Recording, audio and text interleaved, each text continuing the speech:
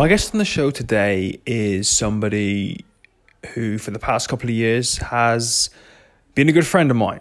We didn't serve directly together while we were in the Corps, and we didn't meet till many years after we left the Corps when we kept coming across each other's paths in various different veteran circles. He's a very interesting man and he leads a very interesting life. He's known around the bazaars as Steele Johnson, aka the Magic Marine. He is a professional magician, he is an adventurer, he lives the van life, living out in the back of his highly modified Volkswagen van. He travels the country surfing. He travels the country on adventures and he travels the country performing magic wherever he goes.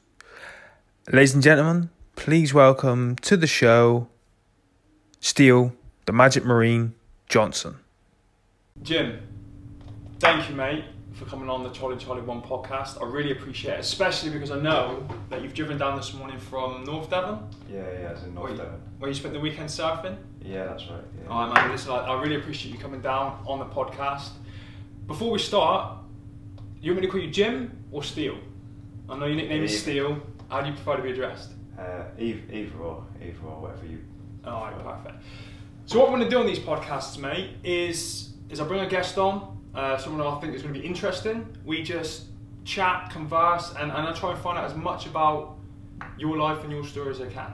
Yeah. You know, either before the Corps, during the Corps, after the Corps, maybe a bit of a of a combo.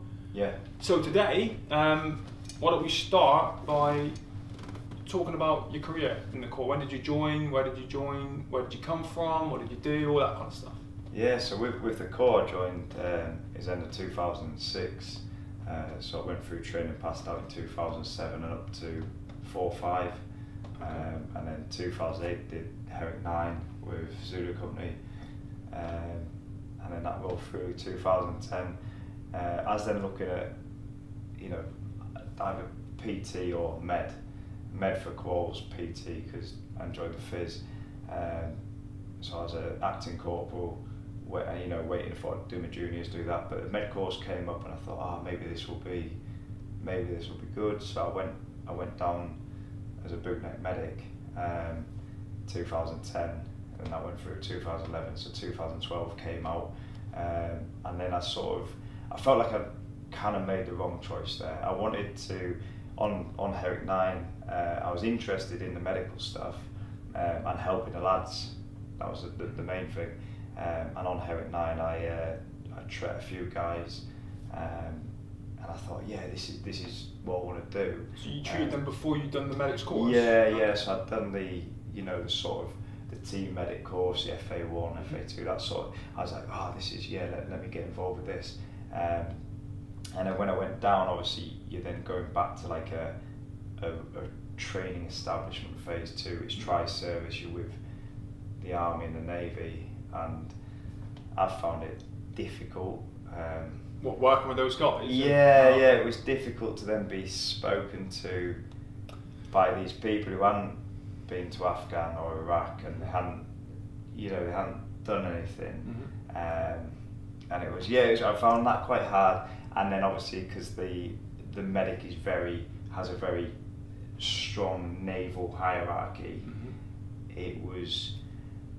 I found they just didn't have the same mindset as bootnecks, Mhm. and, I, and I, I clashed a lot. And I remember speaking to Phil Gilby Mhm. when I was a, as, as a young medic, saying, "I want a branch transfer. I want to go into PTI." And I remember Phil like, "Ah, the branch of the gods. Yeah, and I was yeah. thinking, yeah, that, that's that's what I want to do, you know. Um, but then, but then, the my Matlow bosses sort of said, "Oh, maybe you'll be getting promoted, maybe you know." So I was like, "Oh, oh hang on here, I'll hang on here," and then and then I just I, I was like, "This, I wasn't happy with this situation."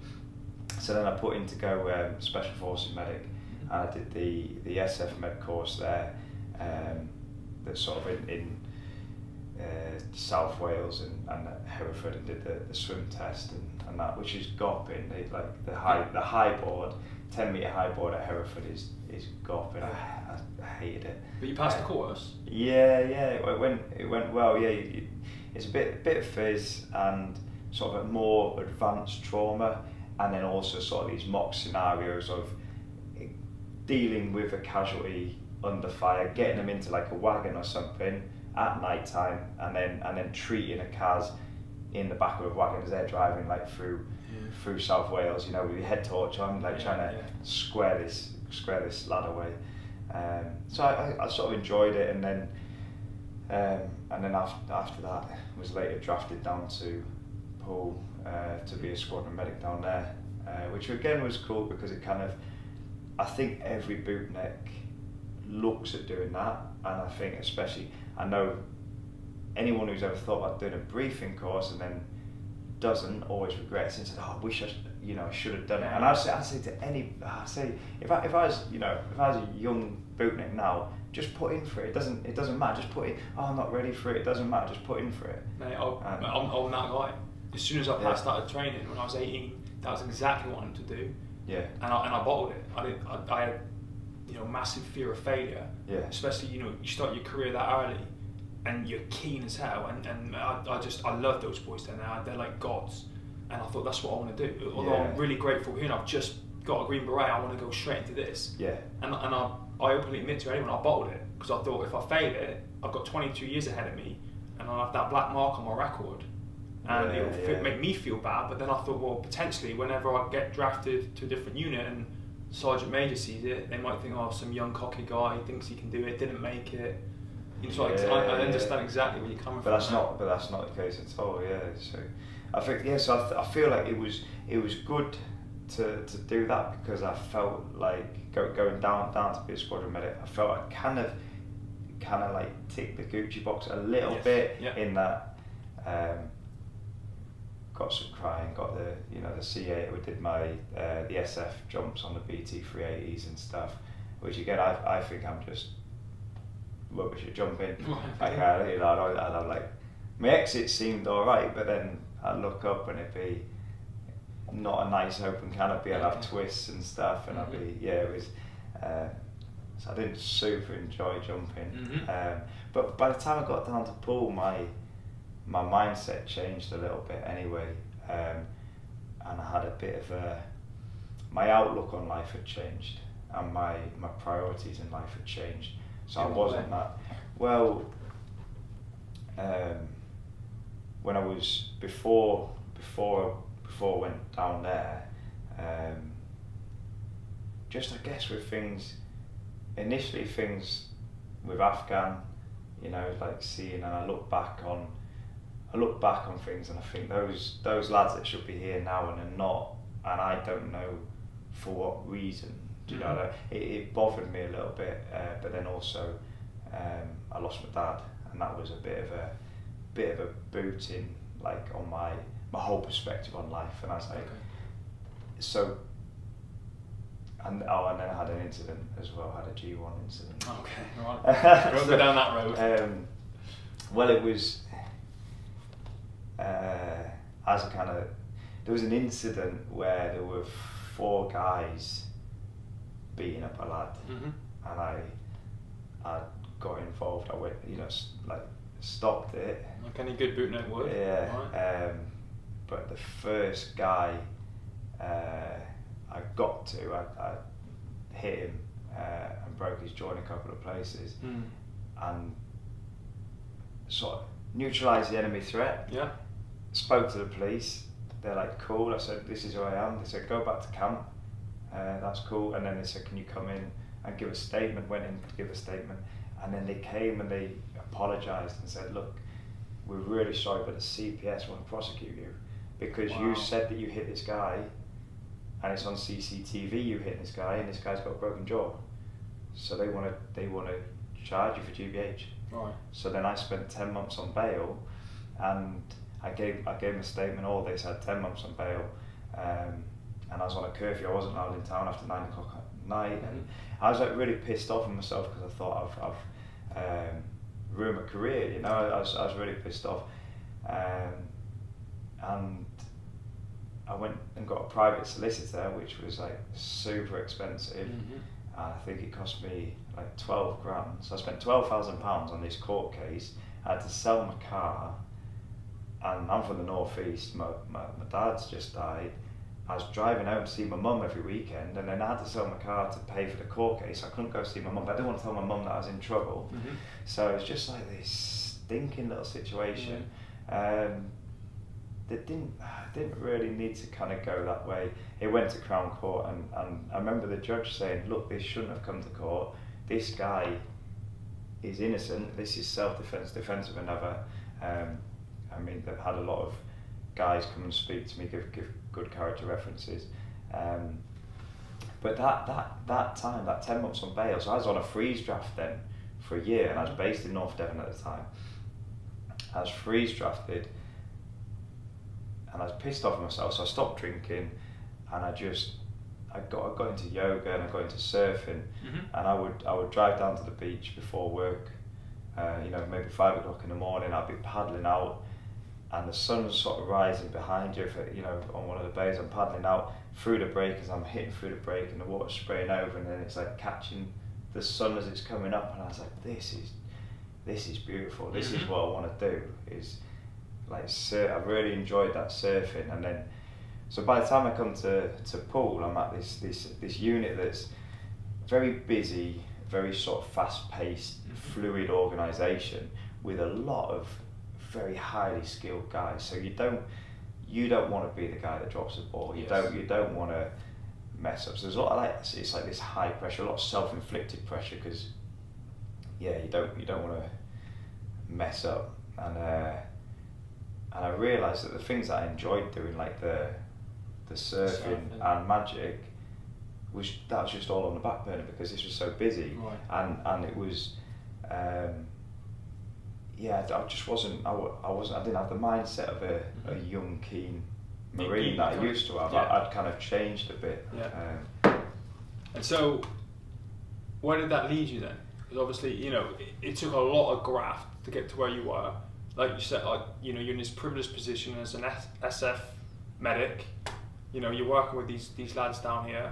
A lot of people would love to be doing what you're doing, but in the back of your mind, you're like, what really lights my fire is is the surfing and you know living that kind of lifestyle. Yeah, I mean, got I got to the point where I was, I was obviously your time, your time and life are together. Mm-hmm. So if I'm trading my time, I'm trading a portion of my life, Mhm. and I thought if I'm trading my life for something, I want it to be worthwhile. So I was very grateful. I know the lad strip a lot. I remember having when we when, when we got slam, like you know, and I remember going, man, this is this is cool. I got me, you know, lads just dripping all the time. I was like, nah, this is cool. But then I thought about it. I'm trading my life for this for this room for this situation. Yeah. If I'm going to trade my life, I want more than this. Um, and I guess inevitably, I kind of then wanted to start living on my own terms as well. I felt like I was a little bit restricted, Mhm. um, and I wanted the two things I wanted was freedom and flexibility. They, that's that's what I was. Which you don't get a massive amount of, especially if you're down at Poole. Yeah, yeah. Um, And so yeah. did that did that then at that point did that all start tugging you towards putting your chit in and leaving? Yeah, I start. I mean, it. it, it I, throughout your career, everyone thinks of, oh, what if I did this or what if I did that, and you Mhm. see guys, you see guys leave and then get, then they're making loads of money, and and obviously in today's world, everything's, as we were talking before, everything's is social media now, Mhm. which isn't reality. But Right. when you're looking at it, you go, shit, that guy's doing well Yeah. he's doing, you know, he's ah, and then you look at your current situation, like, I want to do what he's doing, you know. So I guess for yeah, but no, I was always, ah, I kind of love the Corps. Like I love, I love, I love the Marines, um, and it was, yeah, this this little niggle that I'd had previously, this injury that I picked up, Mhm. kind of wasn't going away and it was becoming harder for me to work, especially working outdoors on the boats in the weather, in the rain, in the wet, in the cold, and it was this this thing that yeah, it wasn't going to get better, and, and I, I was I was downgraded, and they said, you you can't do the job, you can't do the job as a SF, medic, you can't do the job as a, a boot neck, you know these kind of, and it was, right, and and, right. and it, it, I kind of ended up getting medically discharged. Um, So in a way, that. I'm just trying to put myself in your shoes, mate. So in a way, there's a, there's a couple of things, you know. You you've got this niggling feeling in the back of your mind that you want that freedom and, and that flexibility and to, to live that kind of life. You're seeing these people on social media, and you kind of want to do that. You've had a stinker of a court case, and you know, you're down out of pocket. You sold your car. You had you know the tragedy with your dad, and then all of a sudden you got the injury as well on top of all that you know, I guess in kind of a way, would, that have helped make that? I mean, it wasn't a decision because you're medically discharged, but would it make Yeah. the transition easier? Um, I thought the transition would be easier. Man, transition's hard. From, Like, from I- the to Civvy Street? Yeah, It's- yeah. It was. It really. It ah, caught me off guard, I guess, because Here- Here's the thing as well, mate. What you say about social media, you know, it's a double-edged sword. You could see a guy that you know, that maybe you've worked with, transition to Civvy Street, and it might look like he's doing hoofing out of Yeah, Civvy yeah. Street, but you don't know the reality of it. You, you know what's going on at, at night, and you know maybe the hours he's putting in, and if he's happy or if he's miserable. Yeah. So it's a, it's a double-edged Well, I get. I mean, I get a lot of people message. I've had people message me asking for money or message, you know, because they see the they Expert see. Nah, not not an expert. No, this was like fat civvy. Can't say that.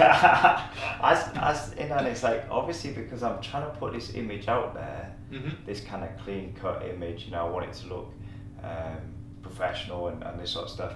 And people see it and they see they see stuff like the, the Bremont, they see the events, Mhm. they see and they go, man, he is. He, but they don't see what's got you to those points. They don't Right. see all the background stuff Yeah. because, yeah, and No, I get that, mate. So, all of these things, you know, then the injury eventually led you to being medically discharged, and you struggled initially. What, what was your what was your plan coming out? Did you you know oh, I'm going to do CP, I'm going to do maritime, I'm going to do what everyone else does to, to get by for Um, now? well, obviously, Did you plan it? You know, if you knew you were going to be did you set up some sort of plan or you just cuff Um, it? just cuff it. um, I would, you know, I would have, I would have stayed in the Corps if I could have stayed in the Corps, Mm-hmm. and but it just wasn't, it wasn't working. No. And um, so then I was thinking, what do, what do I like? And I like, I like, you know, sort of interest in property, Mhm. and so I did my resettlement into like a property course Okay. which is yeah, and um, but then also like this this magic thing that I've been doing. This I, I first picked up a pack of cards at four five when I saw a guy doing some sleight of hand magic, and I was like, what is he doing? Yeah. This is ridiculous. And I, you know, I, I sort of from that point of picking the cards up, then it's something that I kept coming back to and kept Mhm. coming back to. and I guess over time, I progressed with the magic till it got to a level where I'd be performing, I'd be doing bits for the lads, saying, "Hey, check check this out," you know. And I remember someone kind of seeing it and going, "Mate, can you come and perform at this charity dinner?" So like when we did it, we um, I was doing it down in Poles F with Doc Lambert, Yeah. and I was doing it in the pub, and Doc Lambert said, "Can you come to Stonehouse Officers Mess and do do the the Medics Rugby Challenge?" Okay. So I performed there, and and then off the back of that, Charlie, the mess manager, said, "Could you do the officers' mess Christmas party?"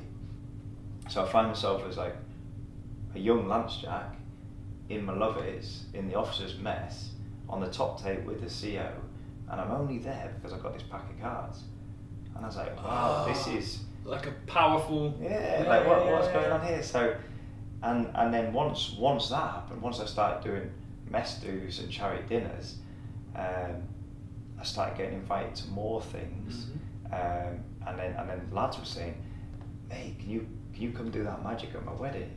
So I was like, "Yeah, I can." So this this magic thing had been growing throughout my career. It kind of got put on hold a little bit whilst I was at Poole, and um, yeah, that I was I was medically discharged, and I, I, I left service at the end of 2016. So I did Wow, ten, not 10 that long years, ago. ten years in the corps, Okay. and I did. Um, I was getting I got booked up for all these um, people saying, "Can you come do the Christmas party?" November, December. Mm-hmm. So I left and then I went straight into like this full time performing for these Christmas parties. And I wasn't, I hadn't intended on being a performer. Right. Um, but I was like, nah, this is cool. I'm doing, and obviously, what you know, doing doing magic here for the lads is one thing. But then people saying, look, can you come and do this? I then had to up my game. I had Right. to, I had to present myself. Um, Do you, do you mind if I just ask? Obviously, when you're serving and you're at the mess do's, those are freebies. But when you Yeah. transition, you need to earn that income. So when you Yeah, then start to yeah. be paid to perform, Yeah, so then which is why I you mean, needed up your game. It, yeah, and uh, yeah, as well. Um, I mean, do in the court, obviously getting that salary, it didn't matter if I drove to Stonehouse and performed in the mess. or, Gotcha. you know, sometimes people would, would give me a bit of cash, sometimes they wouldn't. Mhm. It's a sort of usual thing of, ah, give you some wets, and then Yeah. on on Civvy Street, that's not going to like put fuel in the van. Yeah, it's not. Yeah, so getting getting some money from doing something like this, I thought. And November, December, Christmas parties, it's uh, a very busy season, so I could be doing like quite a lot of gigs. But initially as well, I was saying yes to everything. So I was driving. I was I was doing loops like just Mhm. round the country constantly. Um, I was it was a bit overkill on the driving. It was wearing me out a little bit. So by the time it gets to Christmas, and I'm like, right, that's it, last Christmas party. Right. I'm like, I'm like, yeah, so it's, it's sort of tired. Was there a point when you were serving, when you were going around doing this uh, effectively for free at all these messes, that you kind of went, it, it kind of fell into place. You know, this is what I'm gonna do, or, or again, was it just a, was it a kind of thing when you transitioned it, it just materialised I think grew? it was yeah, it was more it was more the demand that grew it Mhm. as opposed to me pushing it. So it wasn't I wasn't leaving going yeah I'm going to do my and and the things so like I mean touch a little bit on the van like because when I was leaving I was thinking do you know what I could I loved I loved Spain so like when it would come around to Christmas leave I'd go on Skyscanner I'd get myself a one way ticket I'd fly out to Spain Mhm. and I used to do a little loop. I'd land in Malaga, and I'm like, I need to get out of Malaga, but I'd go for a, a bit of tapas and a few wets. Getting back six in the morning, well, I'll, I'll leave the next day. I'll leave the next day. So inevitably, I'd spend, a few days in Malaga, Right. jump on a bus, go to Granada, go up the Sierra Nevada, snowboard, come back down. The the the rustic, authentic Spain, the tapas bars Mhm. The wine, the olives. It was beautiful, such a beautiful place. And then Granada to Sevilla, Seville, and again these. And then, and then at some point, I go ah, best go home for Christmas to see my mum. So I'd like head back to head back to Malaga and fly home. But I used to, so I, I'd fallen in love with Spain, and yeah, it was on this on this sort of the freeze draft when like I listened to like Paulo Coelho's The Alchemist, Yeah, and, yeah. I, and I was like, I do too. it's, I was like, ah, this is beautiful. Like, what's what's my legend? What do I want to do? I Yeah. want to travel to Spain. So, so I had this itch to go to Spain, and um, initially it was to cycle. I wanted to cycle. I got into road cycling. I thought I'll cycle all through Spain, um, and I'll I'll get by by by busking in the tapas bars with magic. So if I could do a bit of magic and I could get a glass of red wine and a bit of tapas, happy days. Yeah. So I was, and, and then um, I got I got with my partner, and we're like, obviously it's not, you know, the bike thing. Now it sort of it, it built up and it, it became a van. So I was like, right, cool. I'm gonna I'm gonna get this van.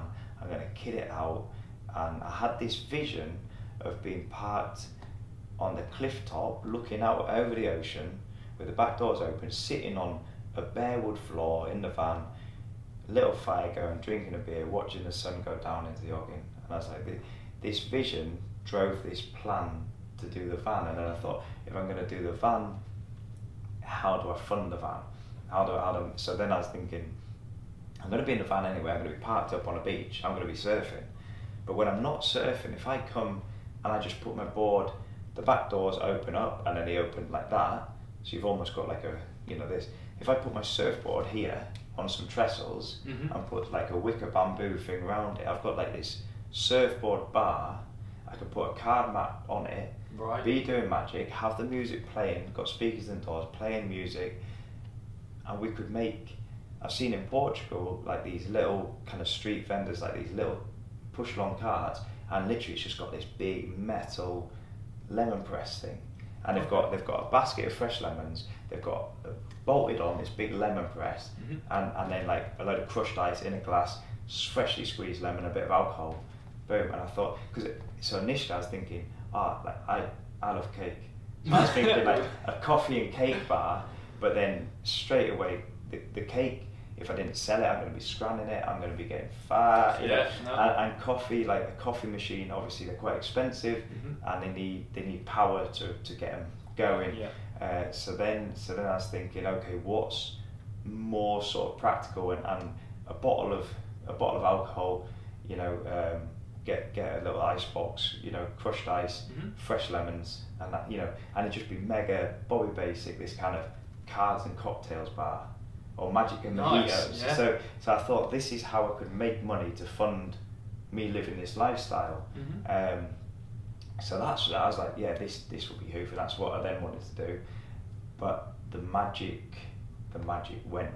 The ball was rolling, the magic, and the magic just went. And I, and I, ch- I chased after it, and got my got my suit and got involved with like Bremont and having that short stint down at Poole kind of opened a few more doors and there's some I mean some some hoofing lads doing some hoofing stuff and I've got some friends the mad explorers who are doing their island crossings the expeditions uh, a couple of lads who set up through darkness kind of outdoor Oh, yeah. clothing gear re- real good stuff um, and and these these these these overlapping circles and then I found myself in London a lot going to a lot of Mhm. events and the, kind of the, the surf bum thing got put on a shelf for a bit whilst I guess as the magic marine Mhm.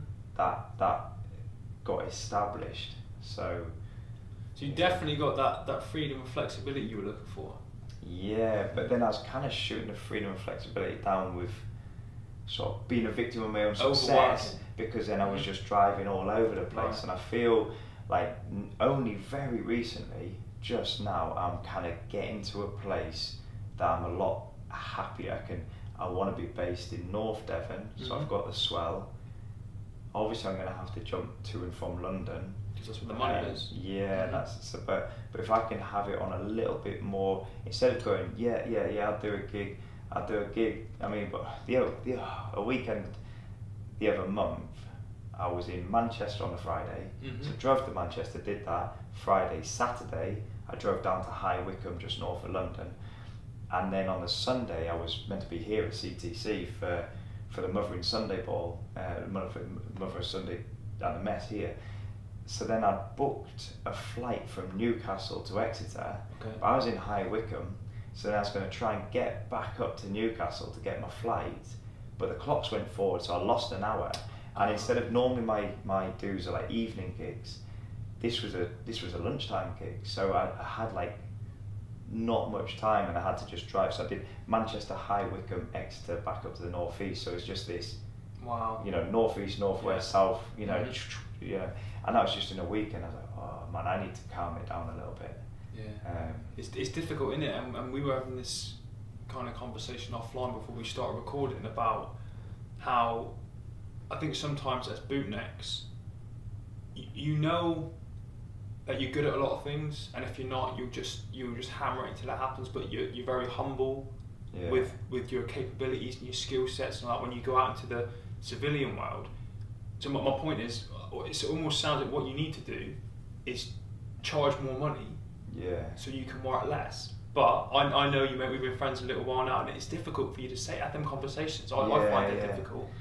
But that, from what you're saying, that's almost what it says. but that I think do. it's, that, you know, obviously, it's you- you've been getting paid every month, whether whether you've worked one hour a day or 24 hours a Yes. day, you, you've been getting paid the same amount, and then to come out and to, to try and put a value on your time and go, oh yeah. So I used to just, I'd, I'd try and just work it off like a minimum wage kind of thing. Mhm. I would look at drive time and performance time. So if I've got six hours to a gig, six hours back, twelve hours drive time, two hours at the gig, you know, fourteen hours at eight quid an hour, where you know, work out that for for time, and then work out my mileage for fuel, Yeah. which would give me like a rough figure, because I, you know, there's a lot of times where I'd be doing a gig, and I'd be paying to do it.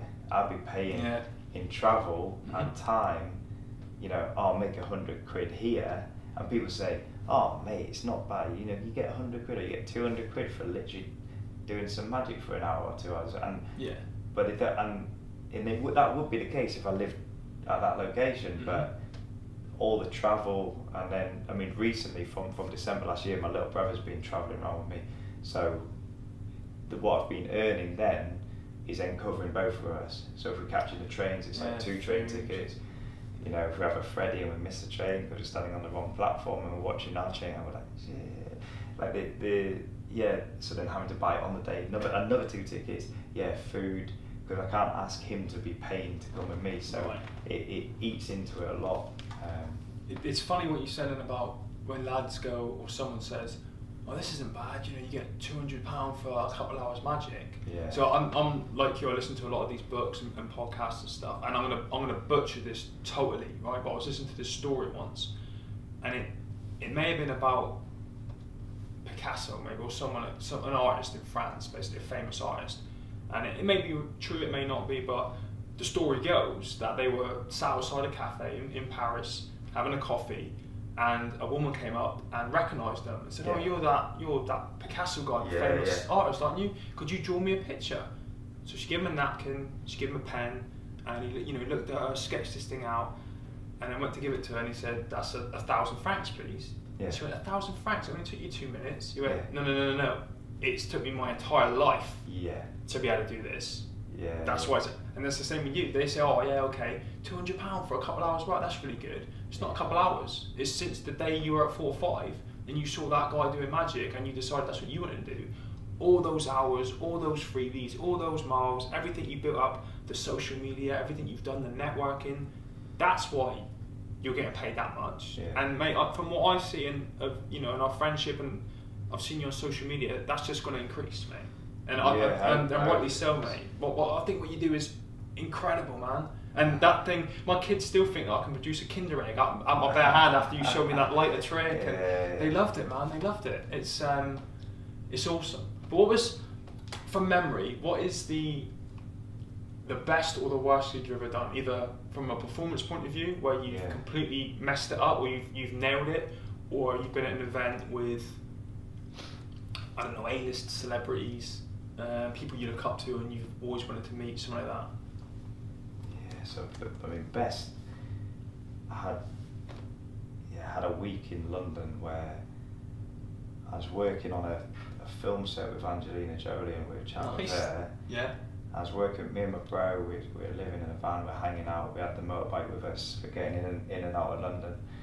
And then, so we're with Angelina Jolie, and then randomly we've got a mutual friend. So my brother said to her, "Oh, we've got this mutual friend. This is you know someone that her and Brad would go for dinner with, and or you and, and she's like, oh, sh- who are you guys? You know, and Yeah. then she so we, we had this little chat with her.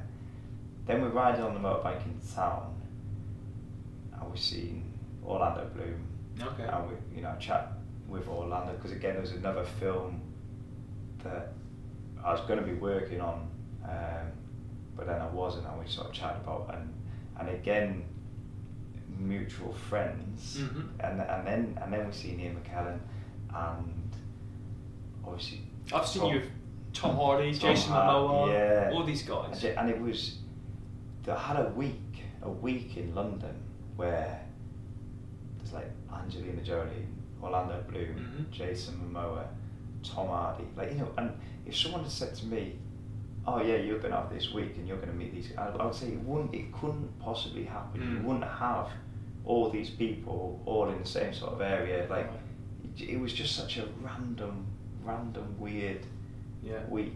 I think the magic the magic's sort of taken me to some some mad places and, and I feel like I, f- I sort of feel like I'm getting more on it and I want to drive it and I, I, I'm sort of getting more of a vision of where I want to drive it because up until now I've just been, oh yeah, I'll come do some magic here, I'll come do some, and it wasn't really, there wasn't any sort No of structure. forward, no, No there wasn't structure. Right. no. Yeah, and um, you know, this is, again, this is from an outsider's point of view. I can kind of see with that story you told then, you know, you popping up doing a cameo in a movie, or you know, like your big names, like uh, you got your Dynamo and these guys. Yeah. For me, Paul Daniels back in the day, but Yeah. you know, TV shows, appearances, you know, that kind of, there's all kind of stuff when you get around those people and you start doing these things. These are all offshots of it, aren't they? And Yeah. sometimes, although you, you're talking about creating a structure and a plan and a, and a direct path to go down, sometimes these random things happen, Yeah. which could take it to a whole nother level you just got to run with, you know. And, Yeah, and that's yeah. that's where I see, I, I see it on Well, Instagram. Yeah, I feel like there's, and mate, there's some. I'm gonna put some. I've got some cool stuff to put on Instagram when, when a film comes out. I was working with Gerard Butler on this film. Oh, stop dropping these names, and I man. Did, I did some magic for him, and then the next thing. you showed me that video you sent it yeah, 'cause privately. he, yeah, he invited me to his bit, and then we chatting, and I was very fortunate that a bootneck followed me in and just kind of filmed it. He kind of filmed it, me and, and I'm chatting to Gerard Butler, and, and I'm saying, yes, I've got this van, and I'm kind of like rolling in this van, and I'd go to the service station in the morning to get a shower before. I come on set, and, and there was another bootneck, uh, uh, you know, brilliant, brilliant lad, uh, Sammy Laird, who's big in the BJJ, big Yeah, in yeah, the real. he's- five. he's- yeah, Oh, yeah. I met I met Sam at four or five, and he used to just time in and not back then on the mats and put me off BJJ for ten years. you know? and um, I, I chatted to him. I was like, Sam, where where you where you staying then whilst we're down here working on this film? And he goes, I'll probably just keep in my car. I was like, mate, come in the van. hmm And and initially I hadn't, I hadn't and then I was like, I remember, I remember you, I remember you, and um, he just for a week, me and him just just rolled. You know, we we, we lived together in the van, we Mhm. get the wets, and we just chatted and chatted, and it was it was so cool. But then yeah, so I'm with Gerard Butler. I'm saying, yeah, get get a wash at the service station. And Gerard Butler's like, mate, do you, do you want to use my shower here? You know, Nice. And um, I'm not, I was like, nah, nah. But what I should have done as a as a good bootneck is I should have just got naked and go, yeah, yeah. I'll- Just right there on the spot, strip off front of Gerard Butler. But then, but then, so then, oh man, yeah. So like, I went to see my my friend who's friends with Orlando linked me in with this thing, and I seen Orlando Bloom, and then Mhm. this girl who we sat near said, "Oh, have you?" Oh, she no. Later on, she messaged me something about this, some other magician. Have you checked this this guy out? He's ridiculous. So I looked at this guy, and the latest video he had was with Gerard Butler. So I'm watching this, and he's trying to show Gerard Butler this chick, and I can hear Jerry going, "Yeah, yeah, but this guy, this guy produced from," and I'm like, "Shit, he's, He's- talking about me to this." Yeah, yeah. Nice. So to feel like I feel like maybe I've had a bit of a lasting uh, effect on that, yeah, which was yeah, that was really cool. Mate, do me a favour quickly. Can you just check that still? course. Yeah. Yeah. It might cut off after an hour. Oh right, yeah. So we're getting on. We're on 37 minutes, mate, and it's yeah. Still it's- rolling good? Yeah, 37, 45, Alright. 46. Yeah, it seems to be rolling. Right. Yeah. Two seconds. We'll just cut this bit and then I'm gonna, I'm gonna finish off and we'll just edit it back in from there. Um, so what's the worst gig you've ever done? No, stop, stop, wait. mate. Stop, wait. I didn't need enough time. Okay. I, I don't know if I can do a waist gig. Yeah, go on. I'll, I'll think of something. Okay, so what's the worst or the the weirdest gig you've ever done? Maybe where you you know, like say, as a bootneck, I know you you inflict a lot of high self standards on yourself, like we all do. Where's the one where you thought, oh, I didn't quite do what I wanted to do there, or just some random weird stuff happened? Um, I mean, after after a lot of gigs, I'm normally like, I need to be better. I need to be better. That's the So- bootneck in you, though. Yeah, yeah. So there's always, I mean, there's always going to be room for improvement, but there's a massive room for improvement. I need to be, I need to be operating at such a higher level, and I feel I sort of berate myself a little bit. Like you, you know, I need to ev- everything, every aspect. You know, I, I kind of, um, I drop the ball a lot. um, but at, gig, at gigs, it, yeah, it all seems to go well, and it seems to be well received. Um, I've not. I'm trying to think if I've ever had like some. But this is good though. The fact that you're struggling to think of a bad gig is a good sign. Yeah. You know. Um, Well, I've, I've certainly, I know you say you dropped the ball, Yeah. but I've certainly, I don't know if that's obvious to the person watching because I've never seen it. It's probably just you Ah. inside thinking, oh, cut well, I'll do something. I go like, oh, I'm not happy with that. I'm not, and I look around and I think, okay, but Yeah. I, uh, yeah. I feel that, I feel though as well. Just again, very recently, I've I've had a bit of a mindset change, Mhm. and I feel a lot more positive about everything. Good. So it feels like so that recently I worked in Henley on Thames on Friday, um, Wednesdays at Bremont uh, with Nims, Okay. um, hoofing bloke. I might have to get him on the podcast soon. That yeah, guy's yeah. He, I yeah, I remember, like I was saying to you, when he when he would come down, we'd do some med stuff at Poole, and he was he would show me videos of him high altitude climbing, like Mhm. these ridiculous videos. I'd show him some magic, Yeah. and um, yeah, but, but yeah, Wednesday and Friday, I definitely definitely felt good. Mhm. I was like, wow, this is, and I think just the mindset change. Um, yes, I, I feel like it's getting getting better. Well, I've got the, the big adventure. Shall I mention about the big Well, adventure? that's, what I want to talk about next because we've, yeah, we've covered all the, uh, you know, your time in the Corps and circumstances led to medical discharge and how the, the magic thing took off. We talked a little bit about the van, which I love, the whole Yeah. travel around, live out the back of a van thing. So, as well as an ex bootneck and a magician, you're an adventurer. And we've talked before about some big plans you've got, I believe, for your brother. Yeah, So, yeah. can we talk about that a little bit? Yeah, so I mean, jumping right back to something you mentioned earlier on, and we talk about the transition onto Civvy Street. I was craving freedom and flexibility, and I thought getting onto Civvy Street, um, uh, this is hoof, and this is Mhm. going to be awesome.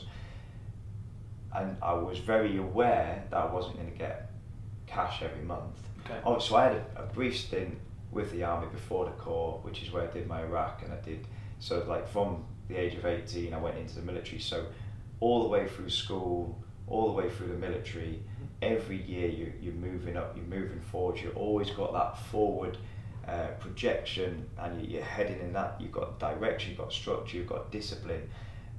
And obviously pay, and then I, th- I was only looking at the pay aspect. I thought, well, I'm going to leave, leave the, the Marines.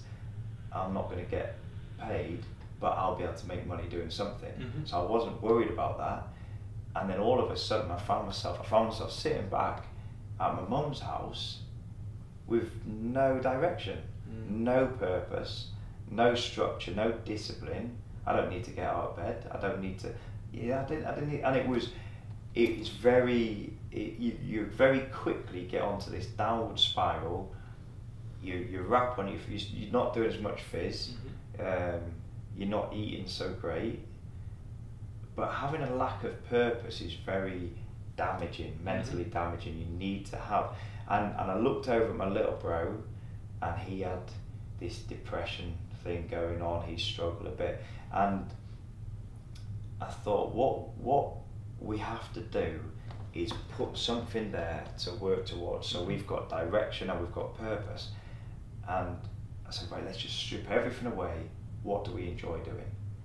We like adventure, motorbikes, Mhm. magic, history. Let's do something with that. And my little bro, he's like, ah, I want like this classic Royal Enfield and all this. So then we start looking at Royal Enfields. They're built in India. So okay, like just buying one here is cheating. Let's go. Let's buy one in India. Let's get one there where they're made. Wow. Um, so we're like, okay, yeah, let's do that. How do we get it back? Well, we could ride it back. Nice. So then we're like, okay, let's ride from India to the UK. Okay. Let's do the, the Himalayas. Let's let's do all this. As we're going along, I'll do magic. You know, magic is so powerful. Mhm. Like I've I've seen it on lads in the Corps where I can do magic, and for a moment I can take them out of whatever problems are going on in their head. I can take them out of that Mhm. and just have this this bubble, have them in this this this moment of kind of wonder, almost like childlike kind of mesmerized. wow, you know, because with magic, you were taking something that you know is physically impossible Mhm. and showing you that. Yeah. And you're like that. I know that that's not possible. I don't know how on earth you're doing yeah, it. yeah, yeah. And, and you forget about what's Anything. going and, and and magic is really powerful. So I thought, right, let's ride these motorbikes. Let's let's push through. Um, let, let's perform magic in the villages that we go.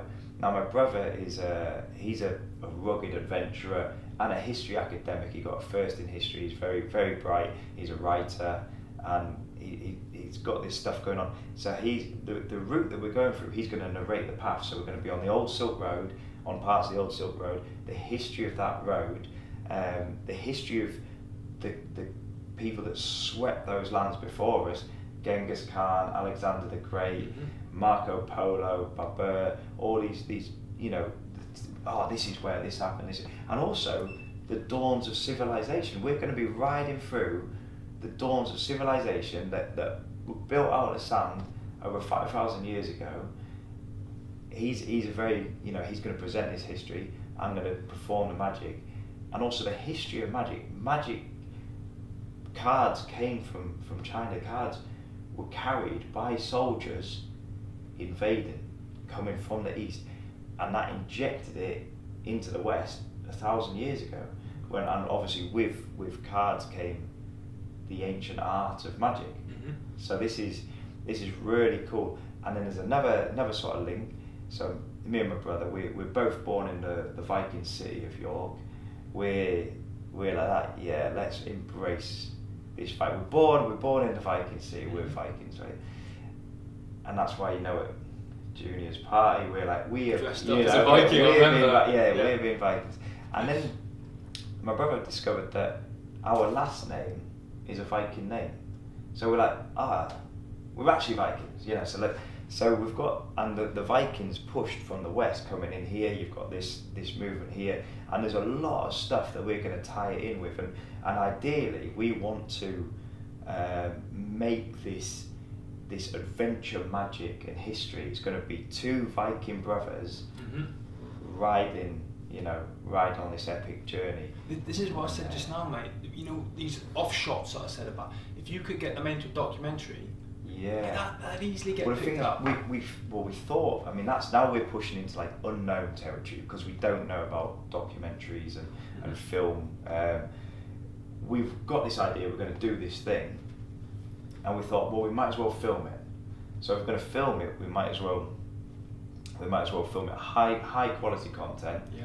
decent stuff so that we can use it. And initially it was like, let's make a short film, take it to the film festival. Let's make a documentary. Let's let's make something here um, uh, off the back of it. Because then I'm looking at what what's the fallout from that. Off the back of it, we can tour around the UK. We can book venues like even if it's a village hall, you know, five quid or something. Just book uh, or like climbing centres or something like that, and we can we can play ten minute short film of our trip. We can talk and I can perform magic at my events Q&A and and stuff the yeah, end, yeah. yeah. And then we're thinking, yeah, what if we could produce it? What if we could pitch and get it as a series on TV to show people this is it's like like the hairy bikers. It's a long way round, Exactly, right. but with history and magic, Yeah. um, and it's yeah this, and then and then we we keep doing this. We we could go down into into Europe. We could go. We could do stuff and do this adventure magic.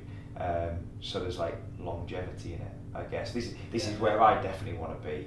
Uh, is doing doing this where I can I want to grow the beard, get my axe, go go do magic. You know, t- take the suit off because I'm always in this suit. You know, um, and go yeah go do this. I feel like that's um, there's definitely something there. But yeah, this is this this unknown world now where we need to link in with people that can help us to get it produced, to Okay. get an audience, to, to get that exposure. Well, I don't know if I can, but if I can or, or the charity can in any way try and hook you up with those contacts, let me know, mate. Uh, because I'd love to see that, and I'm sure there are hundreds of thousands of other people that would love to see that. I know there's definitely eight. There's definitely eight. Yeah, yeah. You're gonna be nine. I'll be number nine. Yeah, yeah, I've got nine people who've said to me that definitely watch it. Mate, I, I think it would be amazing. I think everything that you've done since leaving the Corps has been amazing. I've seen you perform live and in the flesh. And I, I like we said just now, I still don't know how you do all this stuff. I've got loads of new stuff to show you as Um, well. and, and I want to see it all, man. But listen, thank you, mate. Um, I appreciate you taking the time to come down here. Um, I'm, I'm just fascinated with all the stuff you do, man. I think it's incredible. Well, It's so thank you for the opportunity to come down here. No, mate, anytime, anytime. it's- I just love the privilege. diversity of what lads are doing when they leave the Corps now. It's not just the I'm going to do CP, I'm going to do maritime, Yeah. and you know just do all that to pay my house off. Lads are now embracing what they're passionate about Yeah. and going out and doing that, mate, and, and you show that. You know. Well, thank you. But listen, where can people find out more and can they follow your adventures? What My- social media are you on? So inst- Instagram is the main thing that I push out on, What's your handle? and it's at the Magic Marine. At the Magic Marine, Yeah. and that's the one. Facebook or Twitter or anything? Yeah, I, I think you'll find me at uh, the Magic Marine Mhm. on, on everything really, uh, or Steele Johnson. But the, the my website, uh, the website's not super interactive, but it's just themagicmarine.com. But Instagram's the main one, the Magic Marine. That's that's the that's where I kind of push push things out. Well, what I'll do anyway, we're going to wrap up now, but I'll get all those details off you. I will include Yeah. them in the description when I upload this, so people can Thank just you. click on it and get out there and um, follow your journey, man. See it because it's it's awesome. It's fascinating. Yeah, fascinating. it's great. Thank you, dude. Appreciate Thank- you. thank you so much, man. Let's go do some jiu-jitsu. Oh yeah. So that was it. That was Steele the Magic Marine Johnson. And I'm sure you'll agree, as I said at the beginning of this podcast, he's a very, very interesting guy that leads a very, very interesting life. Guys, thank you so much for listening to the Charlie Charlie One podcast. As always, we'd really appreciate it if you could take a minute to leave us a review, leave us a star rating, and share the podcast throughout your social media, throughout your Royal Marines networks, and help us get the word out there. Because we plan to bring you a lot more interesting stories like this as we progress. And we'd like to grow this to be one of the biggest podcasts in the country, but we can't do that without your help. So please, when you get a minute, subscribe to the podcast, give us a rating, and share it around.